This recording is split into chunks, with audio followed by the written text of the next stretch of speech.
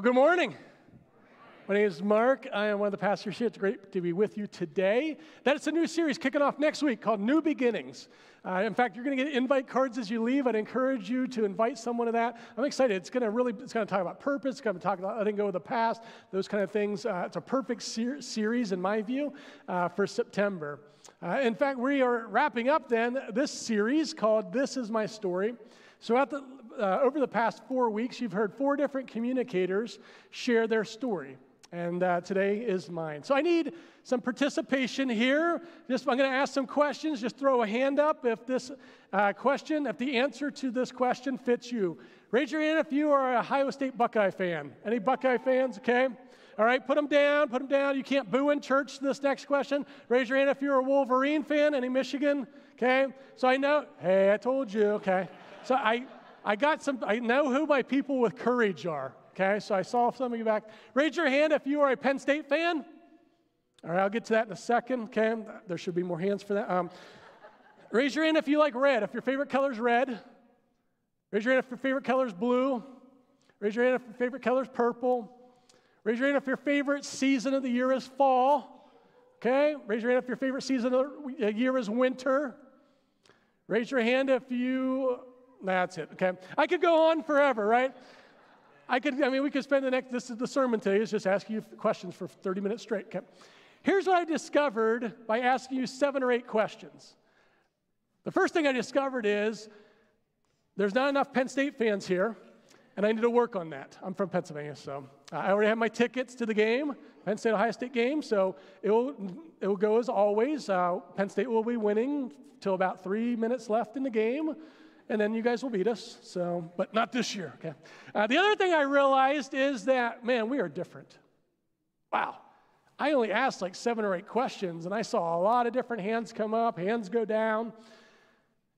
But as I reflect on that, we all are different, right? I mean, we have different likes, we have different dislikes, we have different uh, passions, we have different abilities, we have different families, we have different upbringings, we have different dreams, right? I mean, there's a lot of things that make a group like this or those watching us online right now different. I think we could all agree. But did you know there is actually something all of us have in common? The thing all of us have in common is we all have a story. I don't know everyone's story. I don't know everyone's name even yet. But I know that we all have a story. It's just something inherent with being human. We have a story. You might have a story with a lot of triumphs, you might have a story that has a lot of tragedies. You might have a story that is just starting, and you might have a story that's been going for a while. You might have a story of new beginnings. You might have a story of, well, nothing's really changed a lot recently. You might have a story right now of your life of incredibly awesome things happening. The story of your life right now might be that it's a really hard season. I tell the staff all the time at our, all our different locations, we are in the people business here at the Valley Church. We do a lot of things, there's a lot of things going on, but at the beginning of the day, at the middle of the day, at the end of the day, we are in the people business.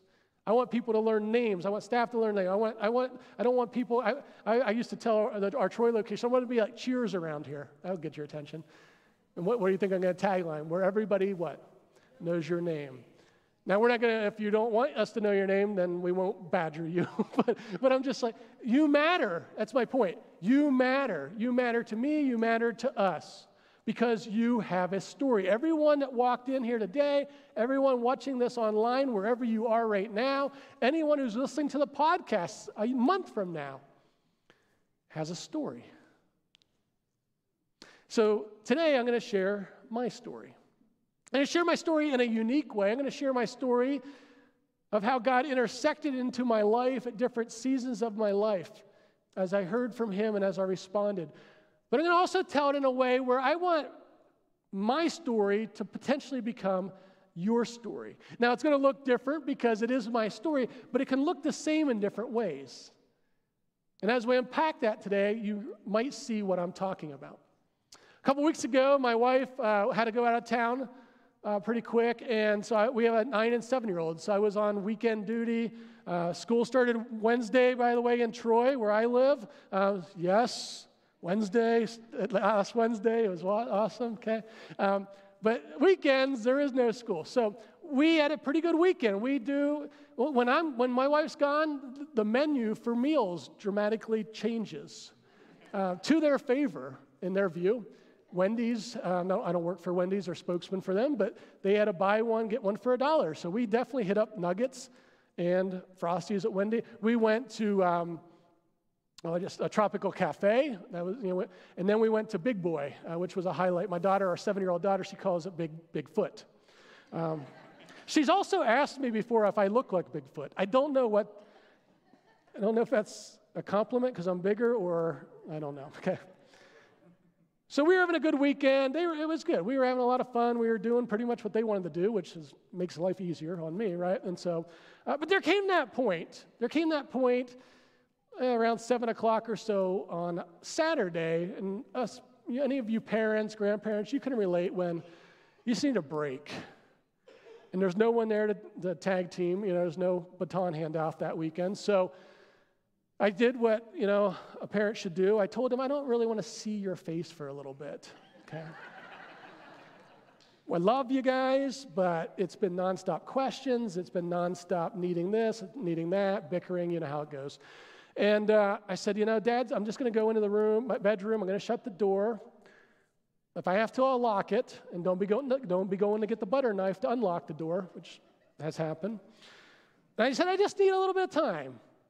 Might be, I didn't say it, might be 10 minutes, it might be an hour. I don't know. It might be the rest of the night. Figure it out.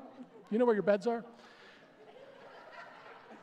but I was like, I just, I don't want to hear from you, right? I just, I just, I, I just need a moment when I love you, but I just, I don't want to hear from you. Please don't bother me.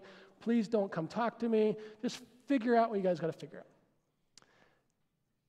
You know what? God's never done that to me, though. God has never, the, my heavenly Father, He has never looked at me and said, Mark, you're annoying me. And I've given Him a lot of reasons to say that. He's never said to me, Mark, I am so frustrated with you. I am so upset with you. I am so angry with you. And I've given him a lot of reasons to say that. He's never said, Don't talk to me. And he's never stop talking to me. Now, it doesn't happen all the time, it's not nonstop. And I want to disclaim this on the beginning. I'm in the process, like a lot of us, of learning to hear his voice and learning to hear it better. I'm in the process, maybe like some of you, where I've definitely known he's asked me to do something, and I've just flat out disobeyed. Just be straight up. Flat out, it was going to get me too uncomfortable. I didn't want this nudge of going to talk to someone about my faith, you know, or whatever it might be, where I've just flat out disobeyed. So I don't want you to leave here today thinking, man, this guy just like gets it all right. In fact, if, if you think that, I'm preaching here again next week. I'll bring my wife and she can explain my flaws. She might enjoy that, actually. I don't know. Um, but this is my story of God intersecting in my life. But I want to look at a passage of scripture that talks about, about God speaking going to be in 1 Kings chapter 19. If you have your Bibles, I always love just if you're on your phone, grab the Bible on your phone. I'm going to be in what's called the New International Version or the NIV. Uh, their Bibles should be at your seats. Um, it's First Kings. We're going to be at First Kings. I'm not sure what page number it is, but you could, it's towards the beginning. Just keep leafing from the beginning. If you want to read it on the screen, that's fine too. Here's the deal I'm going to be in Kings uh, 19, and I'm going to start in verse 11. I'm going to give you a little synopsis of, of chapter 18. I'm kind of one of those preachers who I, I, don't really care if you read chapter 18 while I'm preaching. In fact, it's probably it might be better than the sermon anyhow. So, uh, but this, if, if this how you hear from God and how you respond, go for it. The setting for this is there's a prophet. His name's Elijah. Chapter 18 tells us that he had one of the most monumental victories ever in his spiritual life. There were the prophets of Baal, a foreign god that a lot of people were worshiping, and there was uh, uh, Elijah who said, I'm the prophet of the only true God. And essentially, they call a contest. Let's bring it on. It was, it was, you know, octagon style back in the first, you know, back in pre-first century. And say, we're going to bring it, and we're going to bring it, and if, if this happens, then the prophets of Baal, Baal's the one true God. And if, if the Yahweh, the real God, shows up, then he's, and you can read it for yourself, but God shows up and he just rocks. He dominates, and it's crystal clear. An incredible spiritual victory for Elisha, Elijah. An incredible spiritual victory, incredible moment. And like that, this happened to me too, but like that in verse 19, or excuse me, chapter 19, verse 1, this lady Jezebel, who was always up to no good, comes to Elijah and essentially says, I'm going to take you down. And you would think, oh, he's going to, you know, he's like, no, God just showed up in an incredible way. I'm not going to, this lady's not going to have anything on me. But we see he actually goes into a depression like that. How do I know he went into depression? Because he literally is asking God, God, would you take my life from me? Would you just get rid of me? Would you end it now? And he runs off. He runs off, and his tail's between his legs, you know, so to speak. And he has to be, he has to be in this moment of confusion, of, of seeking God, don't turn your back on me. God, I, I know I failed. God, I know I've messed up. Uh, and he's, he's just in this really hard spot. I've been there. And here's what happens it's recorded in verse 11 of chapter 19. Then the Lord said, Go out and stand on the mountain in the presence of the Lord. Notice what it said. The Lord said, The Lord spoke. For the Lord is about to pass by. Then a great and powerful wind tore the mountains apart and shattered the rocks before the Lord, but the Lord was not in the wind. After the wind, there was an earthquake, but the Lord was not in the earthquake. After the earthquake came a fire, but the Lord was what? Not in the fire. And after the fire came, this is so cool, after the fire came a what? Gentle whisper. When Elijah heard it, he pulled his cloak over his face and he went down and he stood at the mouth of the cave. Then a voice, what? Said, key word, voice said, a voice spoke to him. Every word in the Bible matters. I love to just stop and try to read it slow. I read it too fast too often. Then he said, A voice said to him, What are you doing here, Elijah? He replied, I have been very zealous for the Lord God Almighty. The Israelites have rejected your covenant, broken down your altars, and put your prophets to death with the sword. I am the only one left, and now they're trying to kill me too. In one word, this guy is desperate. The Lord said to him, Go back the way you came. Notice again, the Lord what? Said to him. God is not distant. He is not foreign. He is not aloof. He is not like, I hope, hope you have an above average life. Good luck with it. He is crazy about us. I tell people all the time, especially when I find out I'm a pastor, which I try to avoid because people act weird when they find out you're a pastor. I'm like, uh, you just used that word earlier, you know, whatever, it's not offending me, whatever, okay? I always tell them I'm not into religion. That gets their attention. What?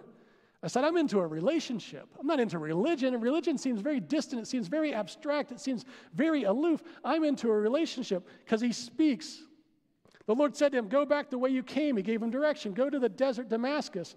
When you get there, anoint Hazael king over Aram. He gave very specific guidance. He is not going to leave you in the dark. Also, anoint Jehu, son of uh, Nimshi, king over Israel, and anoint Elisha, son of Shaphat from Abel Meholah, to succeed you as a prophet. God speaks. In fact, God so desperately wants to speak to you and me.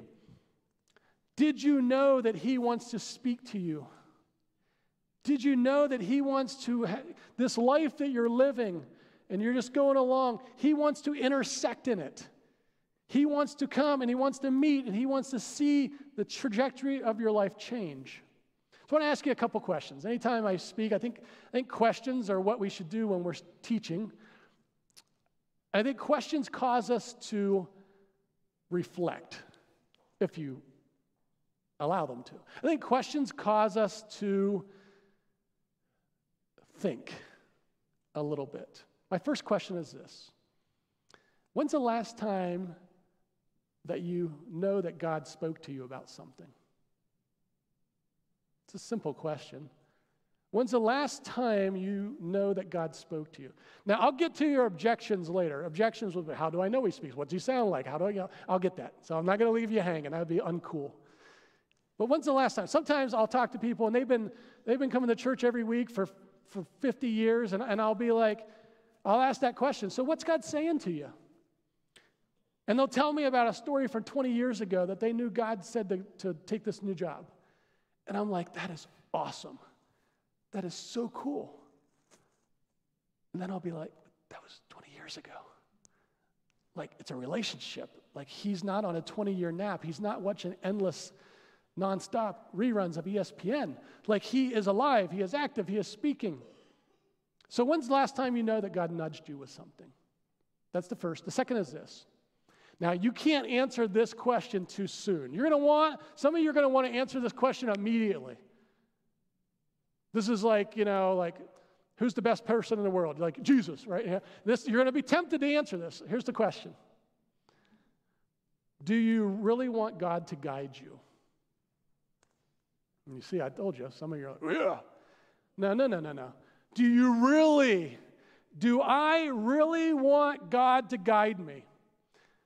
I can say yes, because that sounds like that's the church answer, right? That sounds like, what if He asked me to do something that isn't in my plans? Uh oh, right? So I want you to hold on to that question. Do you really want God to guide you? I was in seventh, it was the summer before my eighth grade year. I just come out of seventh grade. I'm at a summer camp in Cape May, New Jersey. My grandparents lived on a camp, church campground, uh, and they would have camp meeting. Uh, and back in the day, then there was this building on the campground, on church camp, campground called the Tabernacle. The word tabernacle best translates the, from the Hebrew into English as a building without air conditioning. and you spend time there in the summer when it's nasty hot. It's a week of camp meeting, the revival, if you will. That morning, I know that I know. God doesn't speak to me in an audible voice. I've never heard like an actual voice. I know some have, and that's awesome. I have never had that happen. But I had this sense, I had this nudge that I that was essentially saying to me, You know a lot about Jesus, but you don't know him. You've been to church many times. You're there Sunday morning, Sunday night, Wednesday night. You're what? but you don't know him. Tonight is the night you're going to walk. And this, this, is my story. Doesn't have to, it can look different for you. But he said, This is the night when they make the call to come forward. You're going to come forward, and you're going to pray, and you're going to ask God to become the leader of your life. So that, sun, that, that service that night, I sat in the second row because I was not going to walk far. I sat in the second. I don't remember a word that the preacher prayed or spoke that night, which is always humbling, since that's what I do. And I know they were going to sing, and I don't, I don't think there's anything wrong with it, but that was back in the day they would sing that song 10 or 12 times, right? I mean, they're going to bring that chorus back and back, right? The first word I essentially was bolting up there. I'm not a guy who wears his emotions on his sleeve, uh, but that night, I, at that altar, I could not stop crying because I knew that I knew in that moment, I'll, I'll never forget it, was when I gave my life to Jesus. Now, I told you I'm going to tell my story in a way that maybe can become your story. So, my question is Have you ever given your life to Jesus? Do you just know about him or do you know him? Have you ever had that moment when you don't even know what it is, but your palms get sweaty, your heart starts beating faster, and you when they're when they're talking about giving your life to Jesus, but you're like, ah, I'm not ready. Or, man, what am I going to lose? Or what am I going to give up? And I'm going to give you a chance before we leave today that maybe that part of my story can become your story. That you can cross, the Bible says, crossing from darkness into light, crossing from non life into life, crossing from being broken into being made whole, or the process of being made whole. I was a senior. Next time I felt I heard God's voice, I told, I told you, there's no way God didn't speak to me for five years but I was doing my thing and all that kind of stuff. But I was a senior. Uh, I was fortunate enough to have some athletic opportunities. I wanted, and, and, some of them were schools, you know, that if I said the names, you would know. And and it was this in uh, November, and my mom said, "Hey, why don't we go check out this school called Mount Vernon Nazarene University?" My uncle was a professor. They had been recruiting me some for baseball for a couple years, and I'm like. Uh, not really, because that's not going to get my name on the front page. That's going to not get my name above the fold. But I went that night, or I went that weekend. My uncle had some friends, some students over. That night, after hanging out with them, I couldn't get to sleep. I knew that I knew that I knew that's where God wanted me to go. And how did I know? Here's one way you know it's God's voice. If you start really having serious arguments with yourself about the direction of your life, that's an indicator that it might be God speaking and not your own thoughts. Because I'm like, God, that's not this Big Ten score or this ACC score or whatever. This is like, no, one, uh, no one's going to know. I'm not going to be, it's not going to, no, no one's, maybe a little blip in the paper. I did obey. God speaks. And so, what I want to turn that back to you today is is there some area of your life where you're seeking direction? How, or uh, better yet, have you even asked God where you're supposed to go to college? Have you even asked God what, what career you're supposed to have? Have you even asked God what the next season of your life looks like? Retirees, have you asked God what this chapter of your life, what you're supposed to do? So often we can come here every Sunday, we can read the Bible, we can sing the songs, we can even pray, but we do, I don't know if you're like me, but I do a lot of talking when I pray and not as not listening. The old one, two, right? Listen twice as much as you talk. Have you consulted God about your future? I'm just asking. Because I said earlier, because a lot of, I did see head, some heads go up and down when I said, Do you want God to guide you? Well, part of Him guiding us is the Bible tells us that we can determine the path, but God will direct the steps. It's okay to have dreams. I have them. It's okay to have ambition. I have them. It's okay to have goals. You, I think, I don't know how you live without them, frankly. But will you hold them loosely? And here's the kicker. Here's what I love about that passage. Will you and I slow down enough to hear his still small voice? I think the biggest reason you and I miss his voice is because we go at the speed of light. We're, the margins are here and we're out here somewhere. And we're just going and we're going and we're going. And we come here and maybe we still ourselves for a little bit, which I th- that's why I think this is so important, by the way. We still ourselves for a little bit. And I'm just telling you, as someone, I was a teacher for a decade, so I sat where you are for a long time. There's been, there was so many moments of my life there in, in a service like this, God nudged me about something. What's He nudging you about today? Is there somewhere where you're just desperate for direction and guidance? I was telling someone between services, God is not up there just trying to mess with our heads. Sometimes we think that, right? He just, he's, he's just trying to just mess with me. I'm just going to take this step, and it's going to be the wrong step, and I'm going to, it's going to mess up my life or whatever. That is a terrible theology. Will he unpack everything for us? No, because you and I can't handle that. In fact, if he did, then what would happen? We wouldn't go to him. We'd just live even more independent. But he will guide and direct you. He will show you. And sometimes he just says, take that step. You know, the Jordan River didn't part until they stepped in it. The Red Sea parted before they went in. Have you ever noticed the Jordan? They had to take a step in it. Then God showed up and started course correcting. I was in my mid 20s. Um, I don't know why, but maybe you've experienced this, but Satan just kept throwing something from my past back at me. You don't have to shake your head or raise your hand on this one, but you ever have that happen when you know you're forgiven, you know you've been set free, you know whatever, but you know, and God, God hits, God plays with the erase button. When we, He tells us He forgives our sins as far as the east is from the west. If He is faithful and ju- if if we confess our sins, He is faithful and just. He will forgive us our sins and cleanse us from all unrighteousness. Satan works on rewind and then play. God works on delete, Satan works on rewind and play. And you might know you've been forgiven, you might know you've been set free, but then he'll bring it back. Oh. And I was going through that season for a little bit where you don't sleep as well, you kind of, the guilt and whatever, you know. One night, I'm just, this is so cool about God, the still quiet. One night, I'm just, I'm laying on the couch watching baseball, which is a sacred, holy moment, by the way. That's my sarcasm. You'll, you'll learn that. In that moment, God brought to mind Philippians. Paul said in Philippians, forgetting what is in the past, or forgetting the past, and straining for what is ahead, I press on to reach the goal of which I've been called heavenward.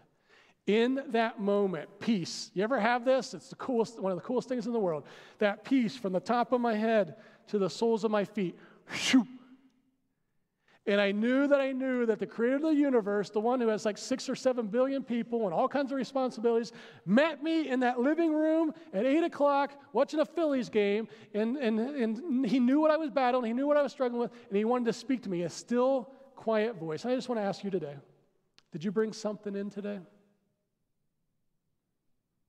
Did you bring something in that you just you keep beating yourself up about or you just whatever? I'm just telling you if you've given your life to Christ, then that is forgiven, it is healed, it is set free, the chains are broken, and Satan, he's the deceiver. He is the one who just wants to keep bringing it back.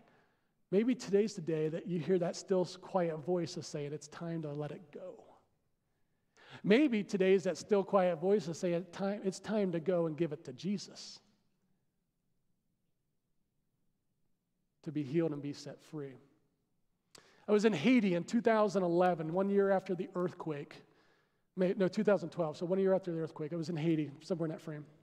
I was in an orphanage. I had a baby hanging on my leg, I had a toddler in my arms. And this was this is when again things that you just don't come up with in your own head is one way you know God's speaking. I felt this nudge that I was supposed to adopt.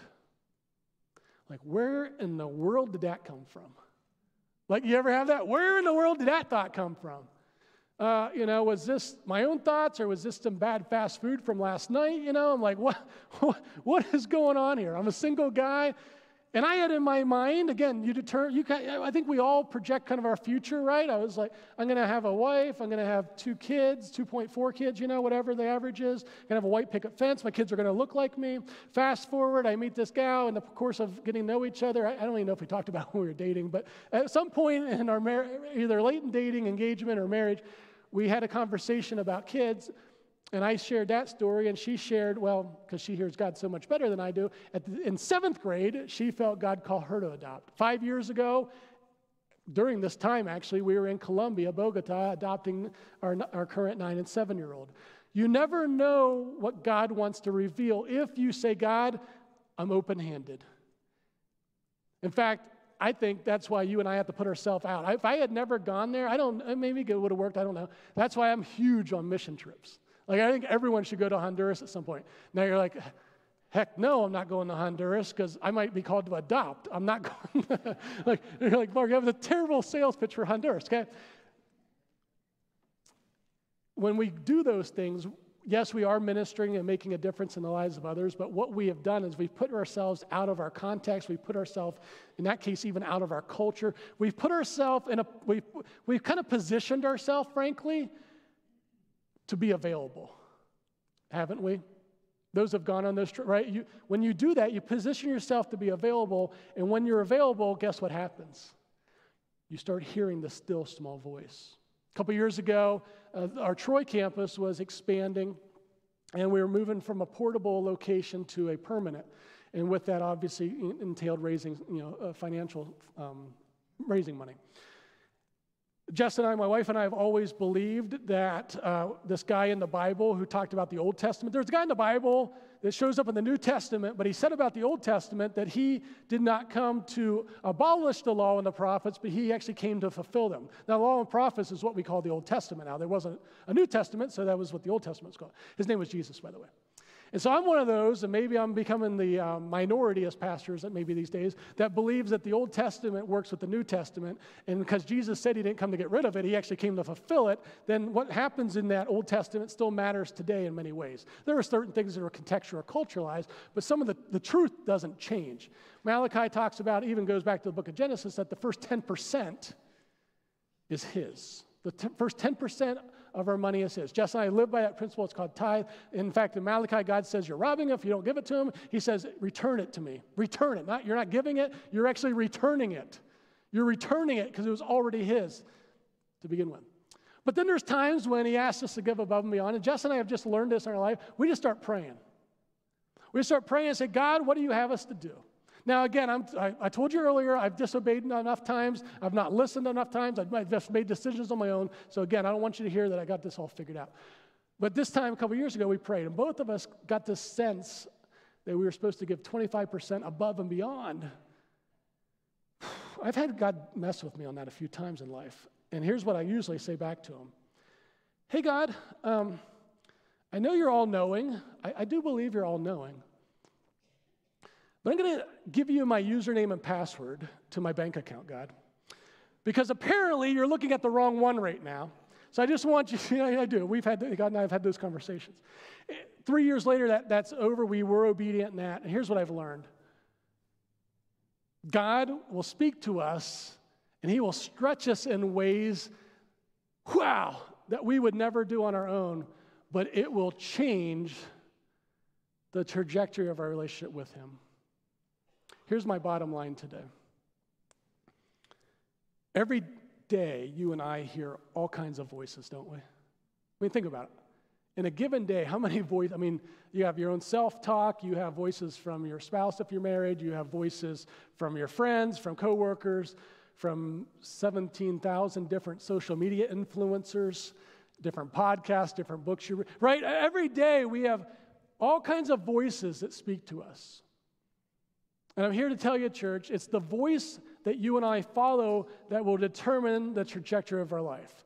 Whatever, I'm just, this is a straight up, whether you you believe in God, don't believe in God, think I'm just nuts, or, or you, you're following after, I'm just telling you, as a fact, no matter what you believe about Scripture, whatever voice you follow will determine where you go. That's just a fact. You really can't totally argue with me on that, I don't think. Whatever voice you and I listen to, that's what we're going to follow. Am I? I don't think I'm off my rocker on that one, right? I mean, that's just a that's just a blanket statement. It's a cause and effect. If you listen to this voice and follow it, you will go. You see where I'm maybe going with this? The only voice you and I should listen to that matters at the nth degree is God's voice. Yes, your spouse, I'm not saying don't listen to your spouse. I'm not saying don't listen to well meaning friends. I'm not even saying don't listen to podcasts. I listen to all kinds of podcasts. I, I read all kinds of books. I, but at the beginning of the day, at the end of the day, it's the voice of God. It's that still small voice, that voice of conviction, that voice of direction, that voice of truth, that voice of stretching. And how do you hear it? You got to spend time with them. That'd be like you saying, Well, I'm in a relationship with my wife. Well, when's the last time you talked to her? Well, 10 years ago. How's that going for you? right? I mean, it's silly, right? If we say we're in relationship with him, but we don't talk to him, if we say we're in relationship with him, but we don't hear from him, what kind of relationship is that? This is how people ask, well, how do I hear his voice? It's like anything, you got to want to. You got to spend time with him. This God was not aloof. He was not distant. He is not trying to just have you play a guessing game. He revealed himself. There's no question, there's no scratch and wonder how God, what his character is. There's no question on what's his promises. He revealed it from the beginning to the end. And actually, even in Genesis, he was speaking to them in the Garden of Eden. And in Revelation 22, he says, Behold, those who come and knock at my door, I will let in. He speaks through all scripture. He speaks in all kinds of different ways. He spoke through a finger writing on the wall. He th- spoke through prophets, spoke through a donkey. I mean, he speaks in all kinds of different ways. But the best way is through his word. They didn't even have all that. We do. Here's a prayer I pray. It's a simple prayer. I close my eyes.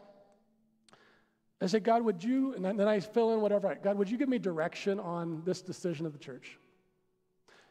God, would you speak truth into my life about this situation? Then I just say, God, and I, I want to hear, I want to hear your voice. So, God, would you silence the voice of the enemy? God, would you silence the voice in my head.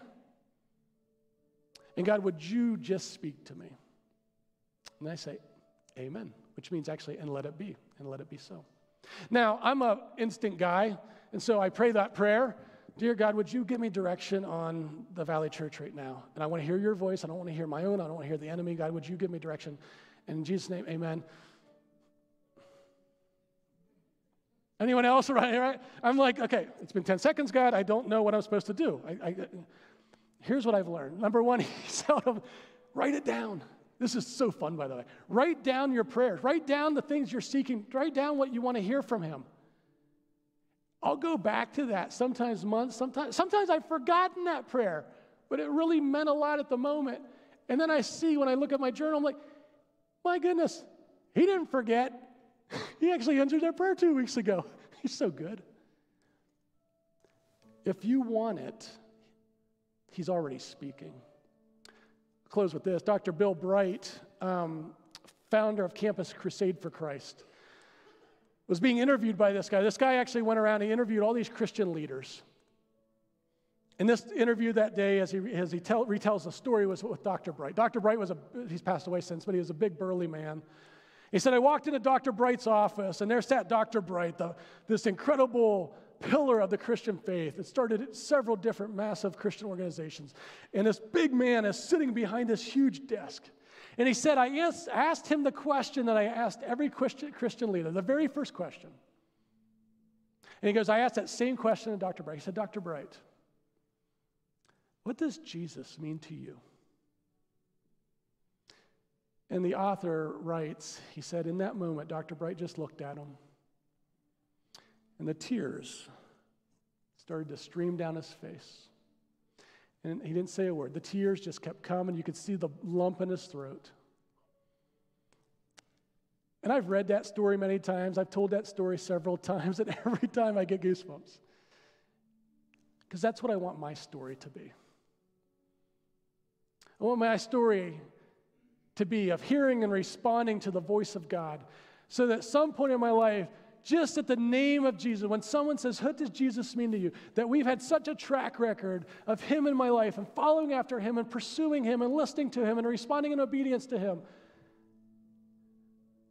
That the love in my heart wells up so much that it just keeps going up until it just floods out.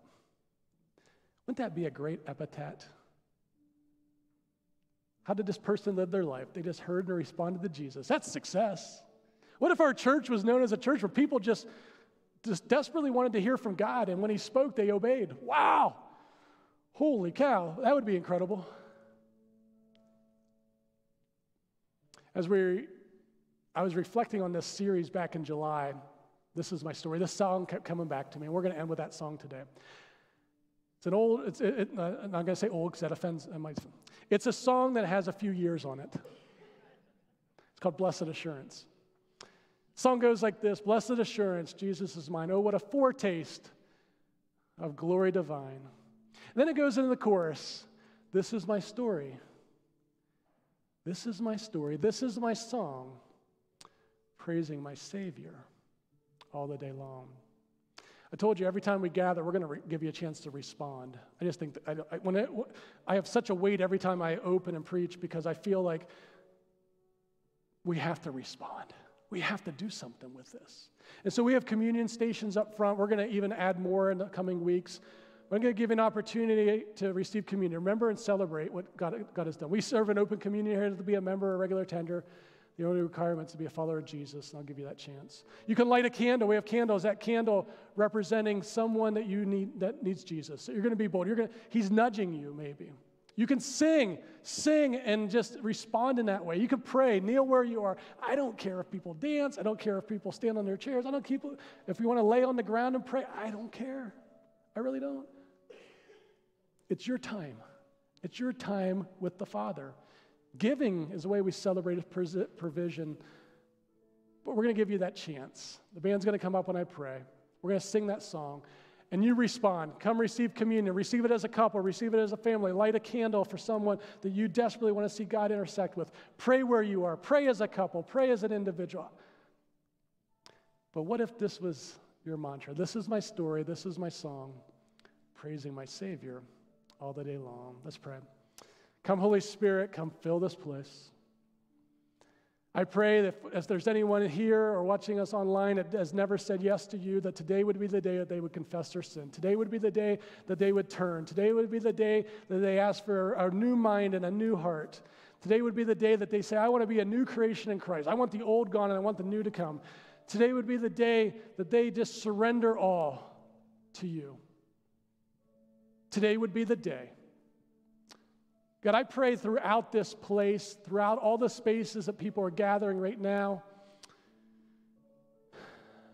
that they would hear your voice, that you would nudge them, that you would remind, remind them, you would speak to them whatever they need to hear. and then we would have the courage and the boldness to respond in obedience. This is our story. This is our song, praising our Savior all the day long. Would you stand with me and respond?